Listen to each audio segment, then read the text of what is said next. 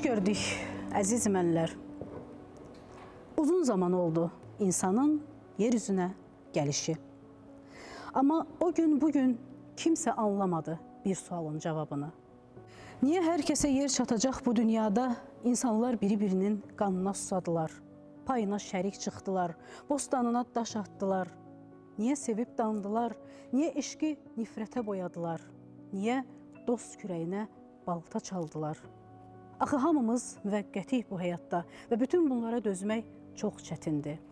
Əcəl zəngi çox erkən çalınan qəhrəmanımız da məhz bu həqiqətlərin, ağrıların adamı idi. Yüzlərlə, minlərlə insanın əvəzinə səsi yüksələn, haqqın, ədalətin təşnəsi idi. Xalq artisti Mikail Mirzə.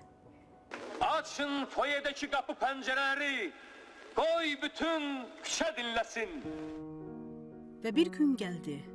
Onun şaqraq səsi ilə bütün qapı pəncərələr silkələndi.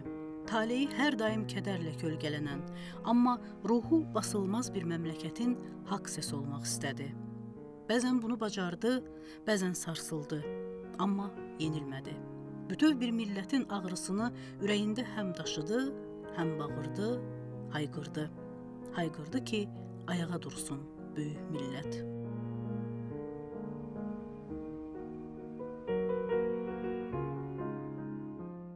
İnsanın dəyəri onun qoyub getdiklərinə görə verilir. Və insanlar adətən daha çox bu dünyanı tərk eləyəndən sonra onların həyatı və fəaliyyəti e, araşdırılır və o zaman əsl qiyməti verilməyə başlayır və əslində insanın əbədi həyat deyilən şey odur.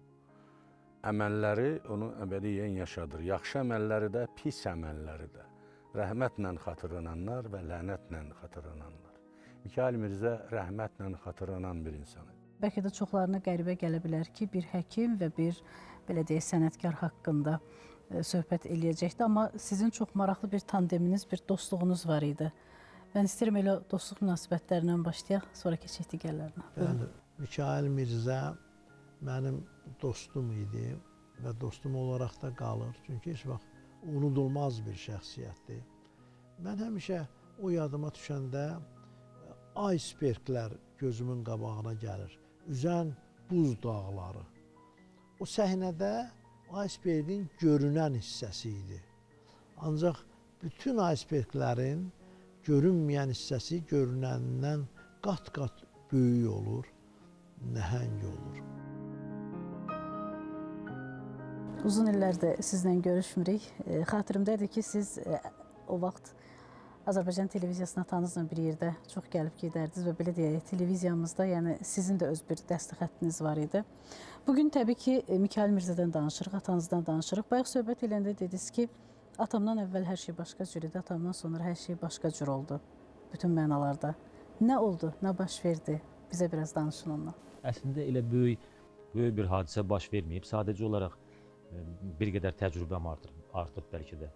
Həyat təcrübəm artıb atamla birgə olanda mən onun hansı çətinliklərdən keçdiyini o qədər də dərk eləmirdim. Hardan gəldi, necə gəldi, o niyə əsəbi gəldi, niyə əsəbləşir axı hansısa bir məsələyə görə.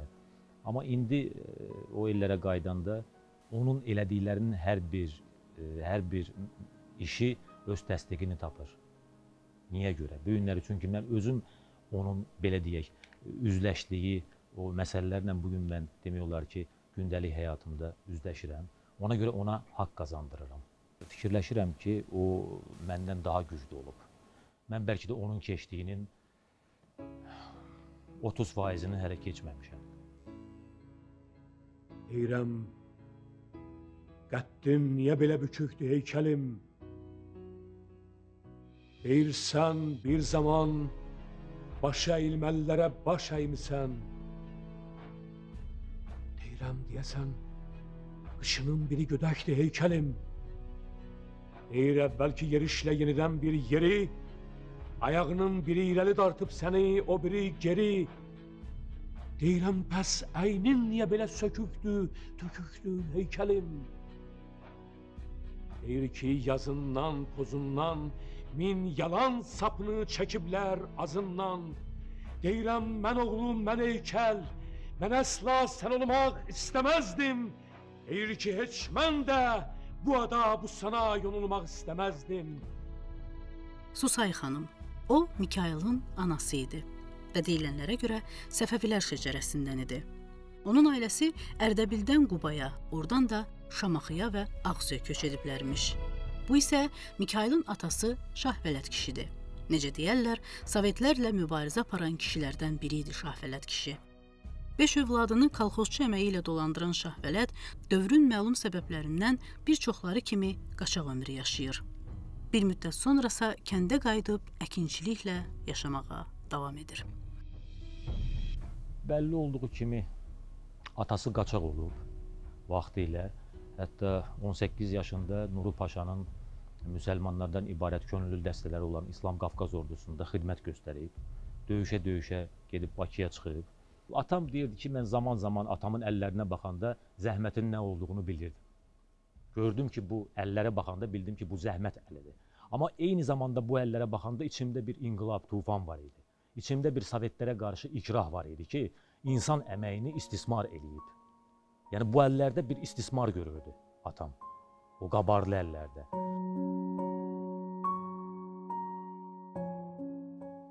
Mikail Mirzə torpağına, vətəninə, ölkəsinə, ailəsinə, dostlarına, seçdiyi peşəyə çox bağlı adam idi. O sənətinə münasibətdə çox əxlaqlı və namuslu adam idi. Mikail Mirzə bütün varlığı ilə seçdiyi peşənin aşiqi idi. Həqiqi mənada aşiq idi.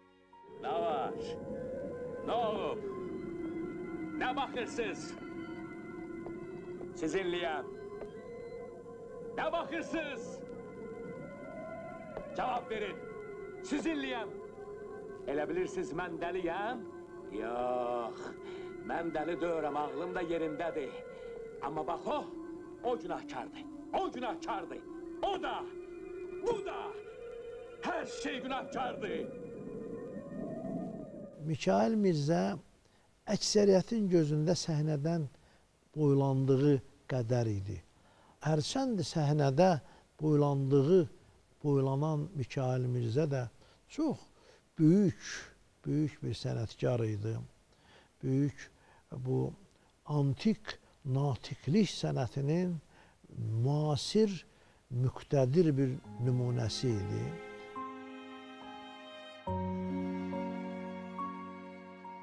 Azərbaycan dili ustası idi, Azərbaycan dili mütəxəssisi idi. Səhnə danışığı müəllimi idi. Mənim müəllimim olub. E, Mikail Mirzə, səhnə danışığı müəllimim, Əzzağa müəllim, Quliyev və Mikail Mirzə. Müəllim olmadan da əlavə olaraq bunlar bizə həmişə doğrudan e, atalıq göstəriblər, qardaşlıq göstəriblər. E, çətin e, vaxtlarımız olanda yanımızda olublar, əlimizdən tutublar. Əlimizdən tutub televiziya aparıblar, proqramlara aparıblar.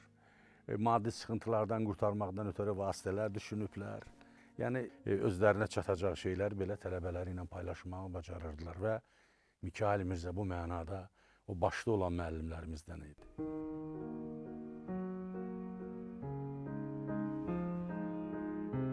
Günlərin bir günü oğul övladı Mikail mən Bakıya gedirəm deyəndə atasının etirazı ilə qarşılaşır. Bu qədər dərdi səri, işi gücü qoyub hara gedirsən? O, mən bütün dərdləri qəlbimə doldurub gedirəm və bir gün bu kəndə söz sahibi kimi qayıdacağam deyir Mikail. Zaman gəlir, Mikail sözünün ağası olmağı bacarır və onun şaqraq səsini sadəcə doğulub böyüdüyü bir kənd yox, bütün məmləkət eşidir. Deyirdi insanların güzaranı, içində olan hansısa bir yeniliyin belə deyək, cəmaatın həyatına gətirilməsi, Ağsunun problemləri, Ağsunun dərdləri və təbii ki, oxuduğu, mütaliə elədiyi kitabları, o kitabları çox oxu oxuyurdu, çoxlu kitablar oxumuşdu. Bəlkə də o qəhrəmanlardan təsirlənmişdi. Amma ən böyük başlıca o idi ki, e, Mikail Mirzədə Şahvələt kişinin o genetik ruhu var idi. O qaçaq idi. O sözlə döyüşmürdü. O bəlkə də silahla döyüşürdü.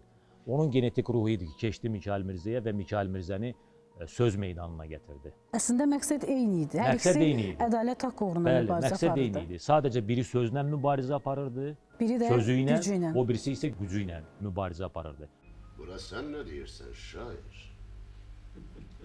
Bugün gözüme çok neşeli görünürsen. Şenlik. O da şenlik. Bu da şenlik. Qovğa. O da qovğa, bu da qovğa.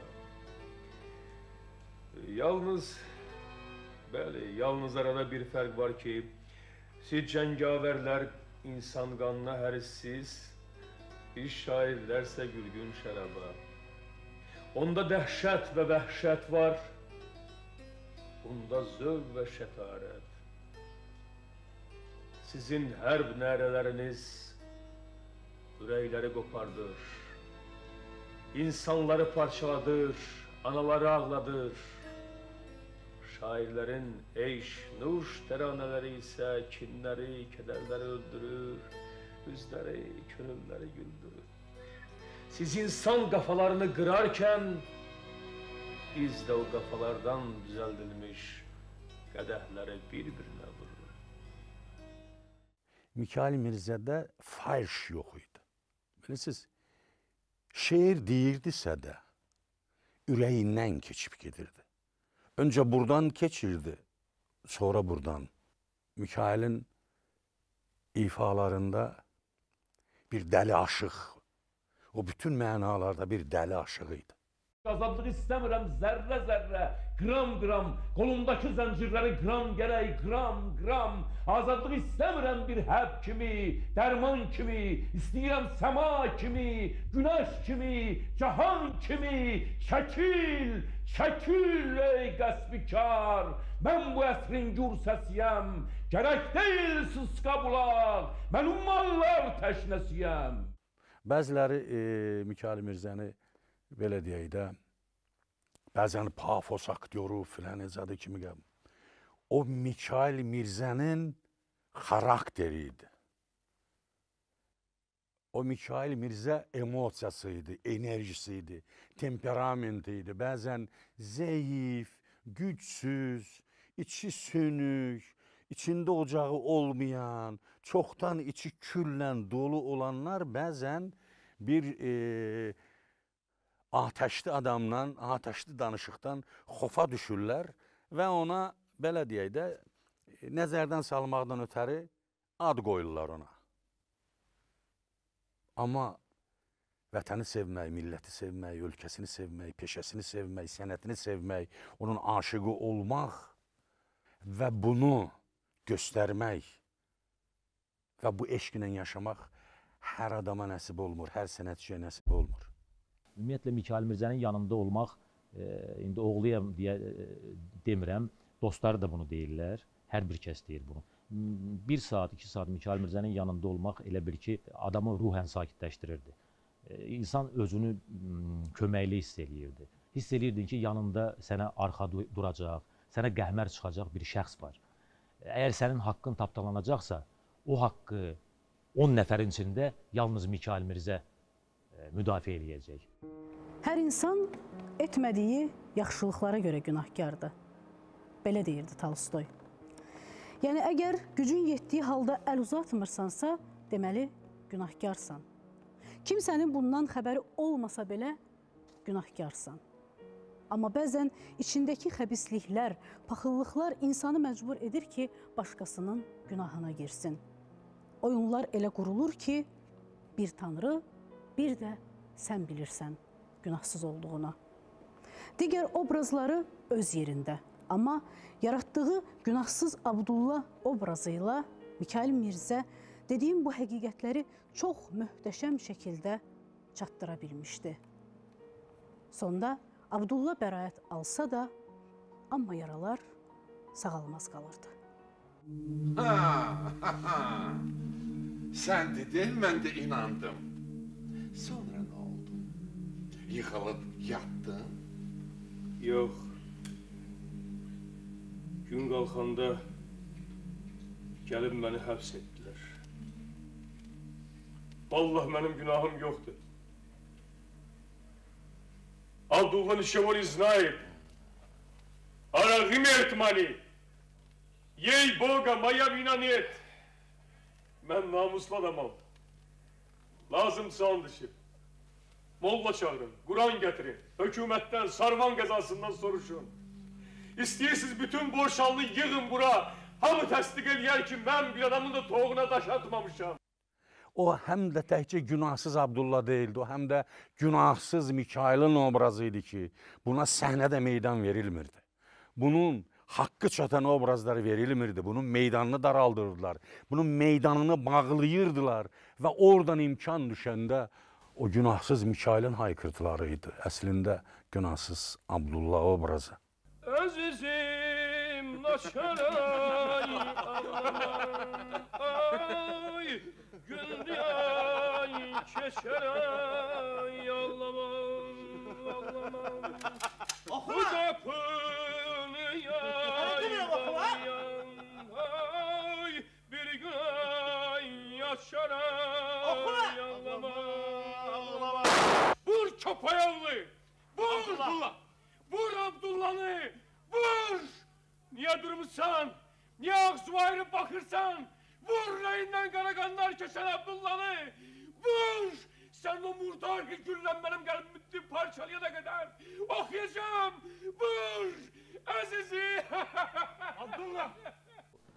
Gecələr də yatanda çox narahat yatırdı.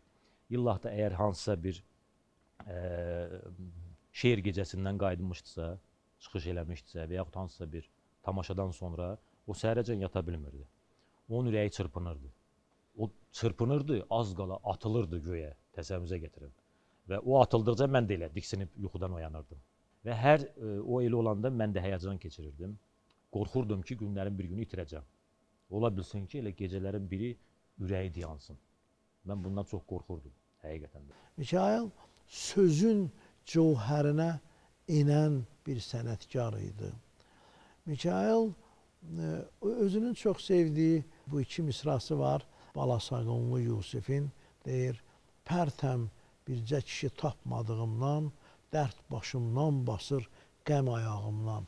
Böyük istedadlar xalqının bütün mental dəyərlərini, bütün enerjisini, gücünü özündə gəzdirən pəhləvan, qəhrəmanlar çox az idi. Az istedadlardan, az böyüklərdən biridir Mikail Mirzə.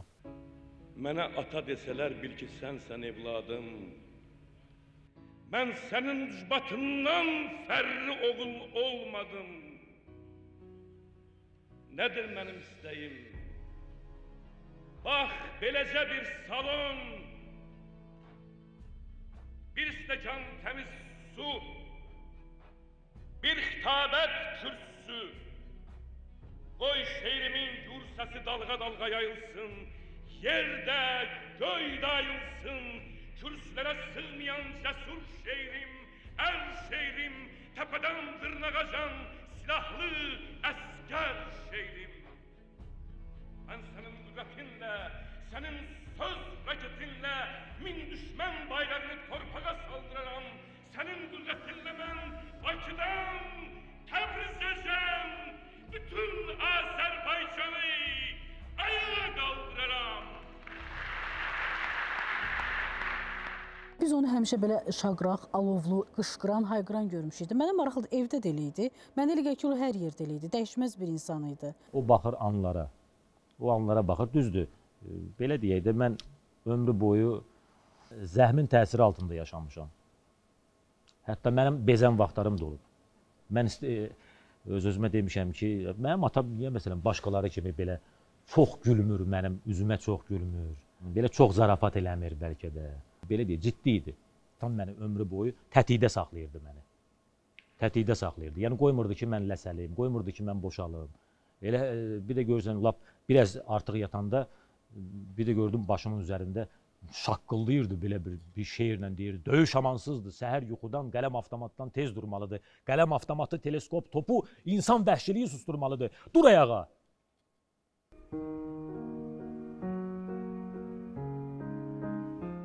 Bu dünyanın ən yaxşılarından, ən doğmalarından doğma adam idi o. İfallı sükutu, dərdi içində böyüyən kişi idi Məmməd Araz. Dost bildiklərinin namərdcə kürəyinə sapladığı baltalar yıxmışdı onu.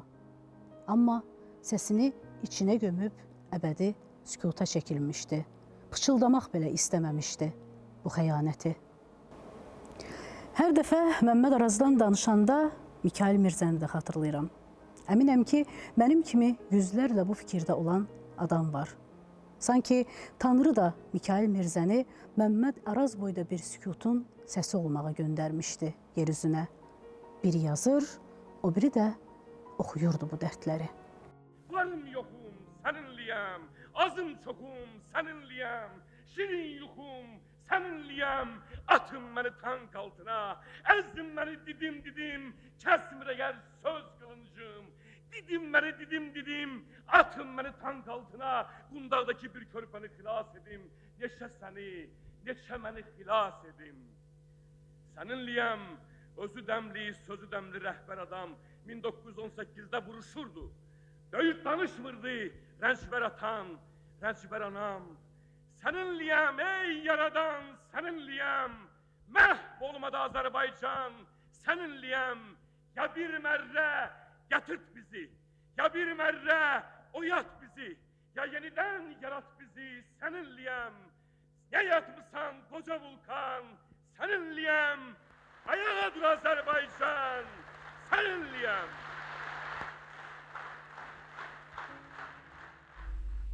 Məmməd Araz, Xəlil Rza enerji sərf eləyiblər həmin şeirə. O şeirlər enerjidirlər. Şair öz enerjisini köçürüb kağıza. Mən onları enerji kimi qəbul edirəm.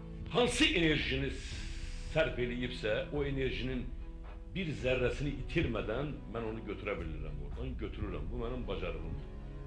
Götürəndən sonra içimdə olan çox böyük enerji var. O enerji ilə mən onu qatıb qarışdırıram bir yerdə. Mən səhnəyə çıxanda ora gələn 200-dür, 300-dür, 500-dür, bilmirəm nə qədərdir. Həmin tamaşaçının bütün enerjisini əlindən alıram. Mikail Mirzə gözəl bədii qiraətçi idi.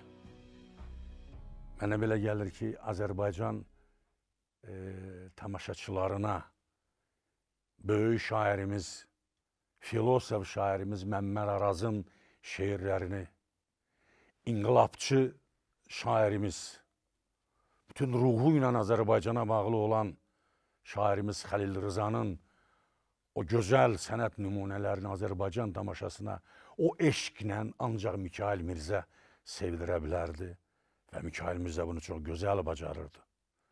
İndiyə qədər hamının yandaşındadır Mikail Mirzənin Məmməd Arazın Qalx Ayağı Azərbaycan şeiri. Ondan sonra o şeirin çox ifaçıları olub. Amma heç kim Mikail Mirzə zirvəsini fəth eləyə bilməyib.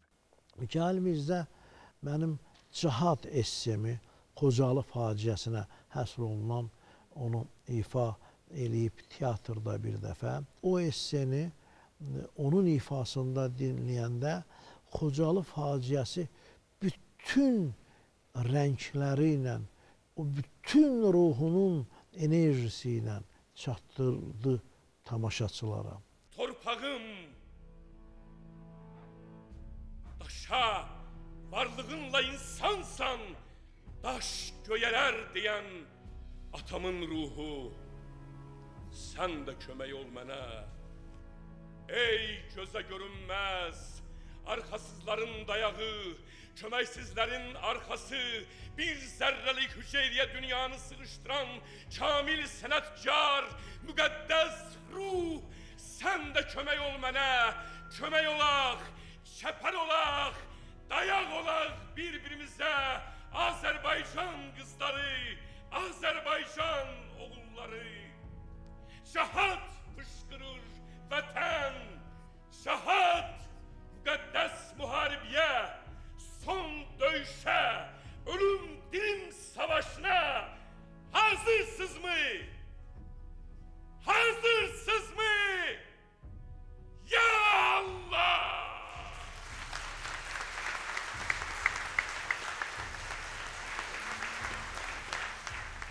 Mikail millətinin dərdləri ilə yaşamağı bacaran adam idi. Və bu təsadüfi deyildi ki, Mikail Milli Məclisimizin deputatı oldu, millət vəkili oldu. Yəni Mikail Mirzə həm ictimai xadim idi, Mikail Mirzə gözəl müəllim idi, Mikail Mirzə gözəl e, dost idi, gözəl aktyor idi. Onun keçdiyi yola nəzər salanda fikirləşirəm ki, o nə boyda onun ürəyi var idi. Hələ o ürək e, 59 yaşında əgər dayandısa, o böyük bir möcüzədir. Bəlkə də elə bir insan, elə bir emosiya ilə insan, elə bir mübariz insan, çətinliklərə sinə gərən, bütün çətinliklərdən keçən, zərbələr alan insan, bəlkə də mən hesab edirəm ki, 59 il yox, bəlkə də o ürək 40 il yaşamalı idi, 35 il yaşamalı idi. Amma onun özü bir möcüzədir. Söz dediyin əbədi nəşə və yenə də söz dediyin əbədi qəlb yarası ola bilər. Bəzən bir söz ya da bircə cümlə eşidərsən, özün susarsan, amma bütün varlığını şübhələr gəmirər. Görüntü aldadıcı ola bilər, fəqət söz dediyin ağır gələr ruha. Bu mənada Mikail Mirzə söz adamı idi. Onlarla şairdən yüzlərlə, minlərlə şeir əzbər bilirdi. Necə deyərlər, sinə dəftər idi. Amma bir də var özünün ürəyindən qopanlar. Sözə sevgisi, dəyəri o qədər güclü idi ki, yazdıqlarını üzə çıxarmağa ifal edirdi. Adamın Allahı var. Üzə çıxarsaydı yazdıqlarını cild-cild kitab nəşr etdirən dırnaqarası şairləri qatlayıb rəfə qoyardı Mikail Mirzə. Bəlkə mən indi cild-cild bəlkə də kitablar yazmışam. Mən özümə qarşı amansız olduğum üçün heç bir sözlə, heç bir yazı ilə razılaşa bilməmişəm. Yazmışam və bilmişəm ki, yazdıqlarım hamısı cəfəngiyatdır, boşdur. Hərdən mənə sual verirlər ki, sən şeir yazırsan, tamaşa şey. Mən istəsəm e, şeir yazaram. Amma mən bilirəm ki, şair deyirəm. Döndü arzuların kanatsız kuşa Her adım başında çırpıldı da şah Çırpına çırpına Yaşa yaşa Birazca da döz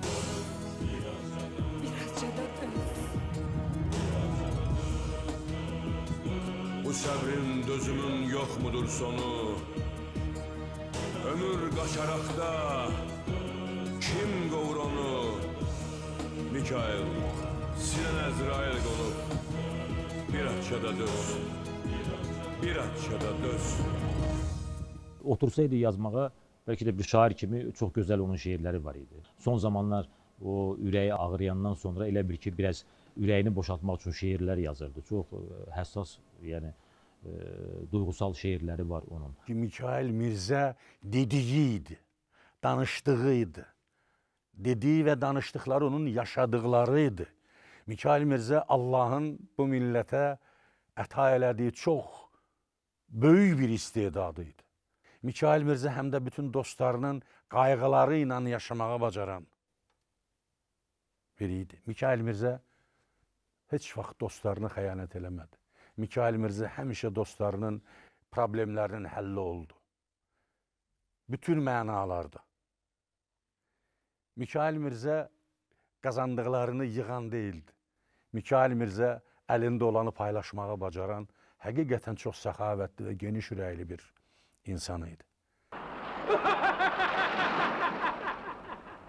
İblis! O büyük at ne kadar şavlı bir heyret. Her ülkede, her dilde anılmakta o şöhret.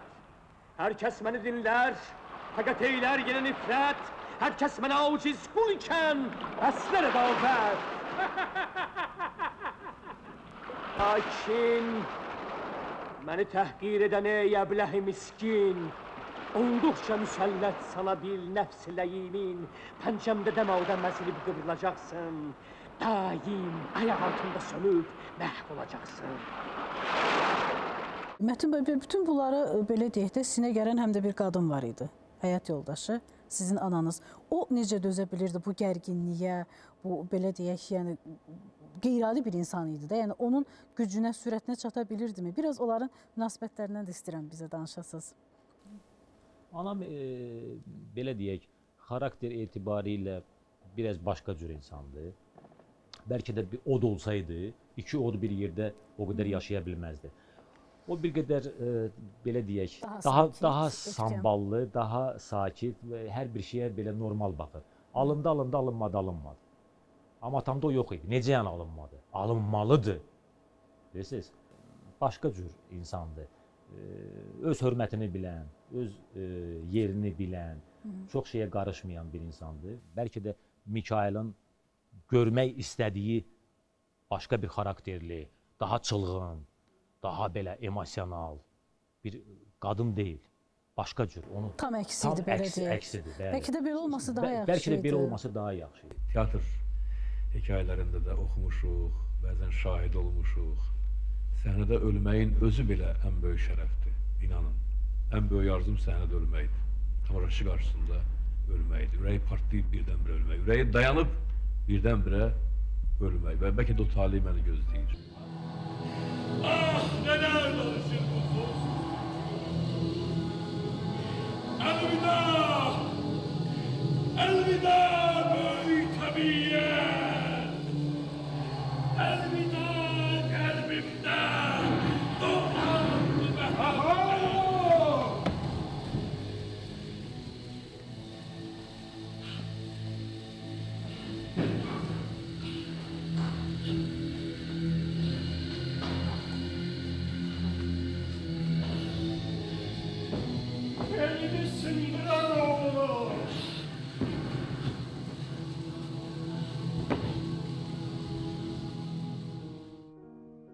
Əslində Mikail Mirzə hər səhnəyə çıxışında bu taleyi yaşayırdı. Adam elə gəlirdi ki, ürəyi bu dəqiqə dayanacaq. Amma ürək də daş deyil ki, dözə bildiyi qədər dözürdü sahibinə. Hər hayqırtısında bir parçası qopurdu. Oyanmışam öylece sensiz. Azizim durma kaç. Araya güzel genç dayan. Çok tələsməyin. Bu qəbir yaxşıdır hər ikiniz için. Öldürərsən onu aliyə kopuraq. Tamam üstün başın qandır bircə bax. Ah! Demək olar ki, hər bir o çıxış elədiyi görüşdə, m, millət vəkili seçkilərində, o seçki qabağı elədiyi çıxışlarda, sonra dövlətin tədbirlərində e, demək etdiyi çıxışlarda bir neçəsində olmuşdu, hətta huşu getmişdi, yıxılmışdı da. Bəli, bizə xəbər e, verməmişdilər. Sonradan mən xəbər tutmuşdum. Çıxışlar zamanı. Bəli, bəli, Əli Bayramda yıxılmışdı. da. Əli Bayramda ürəyi getdi, yıxıldı. Orada da gücdən xilas eləyiblər. Yaxşı ki, e, ya- yanlarında həkimlər olub, xilas eləyiblər. Hə, yoxsa ola bilərdi ki, bəlkə də biz elə orada Əli Bayramında onu itirə bilərdik.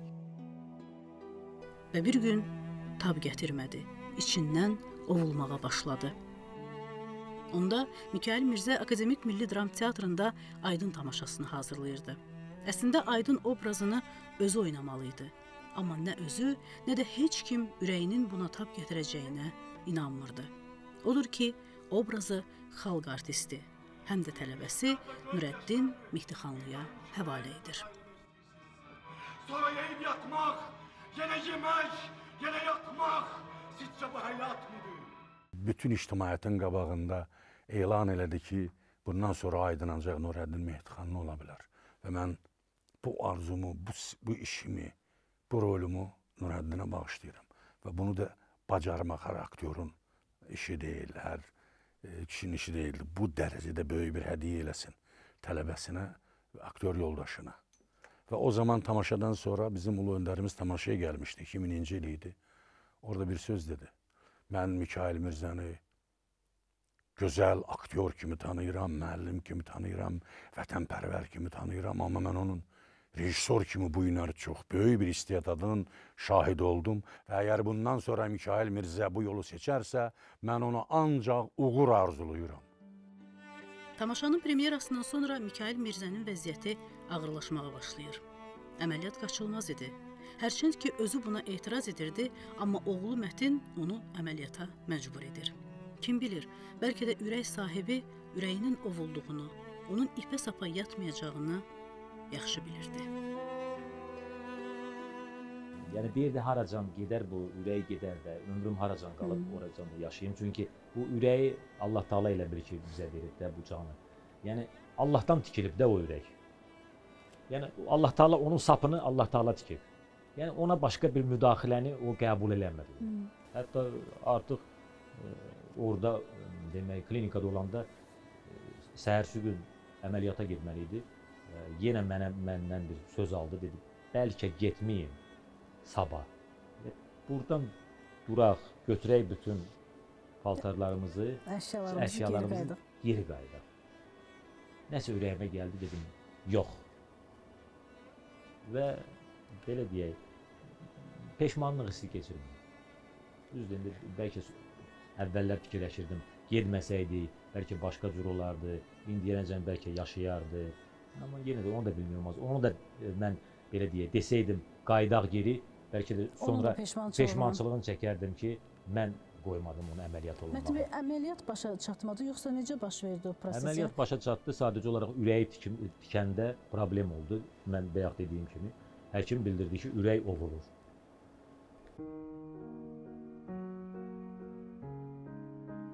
Yəni 59 il yaşadı Mikail Mirzə. Amma bütün bu illər ərzində içində olduğu insanın ləngərinə necə dözə bilmişdi ürəyi? Bunu bir ürəyi, bir də Mikail özü bilirdi. Hər ürək tab gətirməz bu dəsgaha. Amma əgər dözə bilmişdisə, deməli ürəyi də özü kimi qəhrəman idi. Hər səhnə təqdimatında ölümlə üz-üzə qalırdı desək, yəqin ki, yanılmarıq. Bu nə tərif, nə də böyük bir pafos deyil. Əlahəzrət fakt göz qabağındadır.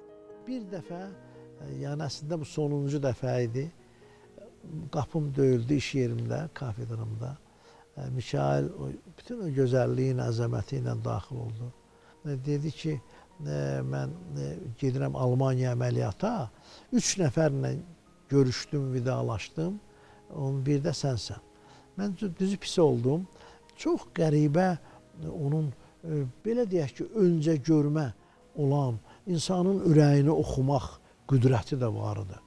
Sonuncu dəfə özü özünü oxudu və bizdən vidalaşmamışdan xeyli əvvəl və bizdən ayrıldı, getdi.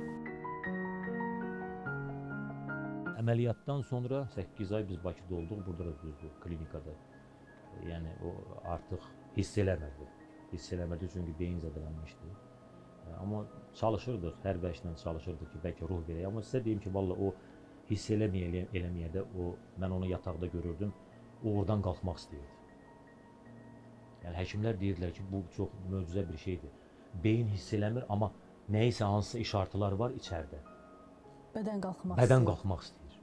Özü özünü güc verirdi ki, qalxsın. Təsəvvürə gətirin. Yəni son dərə son ana qədər o elə bir ki, öz özü ilə mübarizə aparırdı. İçində mübarizə aparırdı. Mikail Mirzə Azərbaycanlı kimi yaşadı və Azərbaycanın uğrunda da bütün həyatını, ömrünü, gəncliyini, sağlamlığını verdi və bizdən ayrıldı. Mikail Mirzə həmişə xatırlanacaq. Çünki Mikail Mirzə Azərbaycan xalqının qənimət oğullarından idi. Açın foyedeki kapı pencereleri. Koy bütün küçe dinlesin. Açıldı bütün pəncərə və qapılar, həm də pərdələr.